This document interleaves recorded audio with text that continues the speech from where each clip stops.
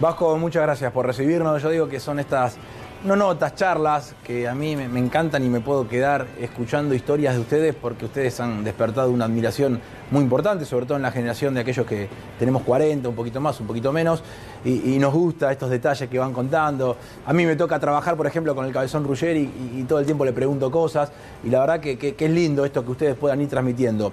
Digo, la primera pregunta que yo te hago es, ¿Diego fue lo que fue gracias a tu nuca o no? Yo le puse la bauticera nuca de Dios, ¿viste? Para no ser menos que él.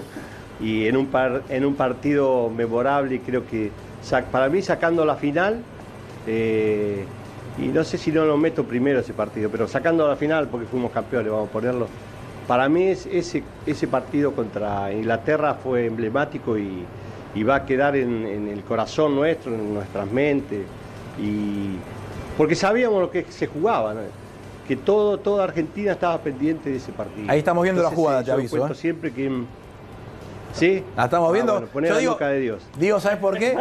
Porque viste que muchos creen que Messi tiene, para que sea el fenómeno que yo creo que es, para mí Messi no necesita ganar el Mundial para demostrar la clase de jugador que es, pero para algunos te dicen, y no ganó el Mundial.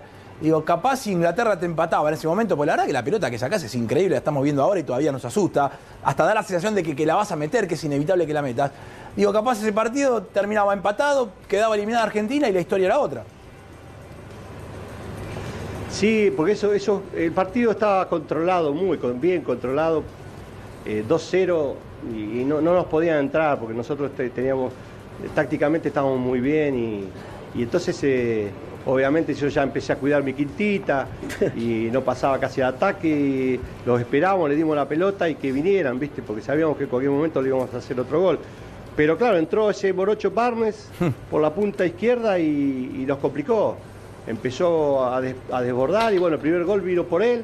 Y el segundo, donde la saco yo con la nuca, fue una jugada igual. Entonces eh, eh, fue un segundo, ¿viste? Tenés que estar ahí. Y pude, pude anticiparlo al aire que, que ahora estaba viendo un, un- un documental que él, él habla de esa jugada y dice que cuando estaba por gritar el gol, a- apareció alguien, me nombró, escuché, creo que en inglés me nombró, y que fue increíble cómo lo había sacado, se sorprendió hasta él, obviamente. Le- pero bueno, le el salvaste- fui yo porque realmente no. Le no salvaste el arco a Pumpido y el Mundial a Diego, estoy convencido de eso. Pero